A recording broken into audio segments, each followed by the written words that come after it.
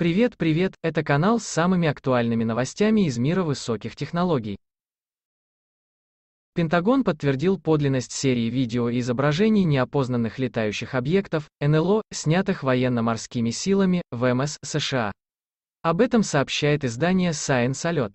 На одном из видео, которое опубликовал режиссер-документалист Джереми Карбеллель, Джереми Карбеллель, запечатлен объект треугольной формы, который летит по нему и испускает пульсирующий свет.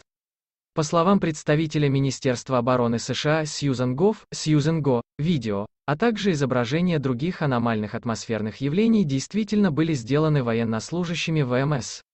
Однако ведомство отказывается от публичного обсуждения подробностей и возможных объяснений наблюдавшихся объектов во избежание раскрытия информации, которая может быть полезной для потенциальных противников.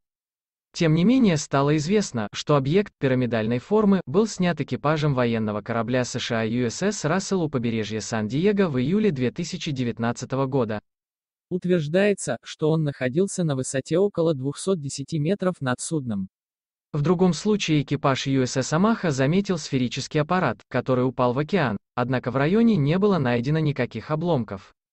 Также сообщается, что возле военно-морской авиабазы США в штате Вирджиния наблюдались три объекта, получившие название «Сфера», «Желудь» и «Металлический дирижабль».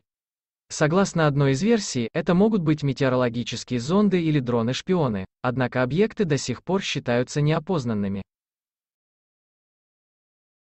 Если видео было вам интересным, пожалуйста поставьте лайк и подпишитесь на наш канал.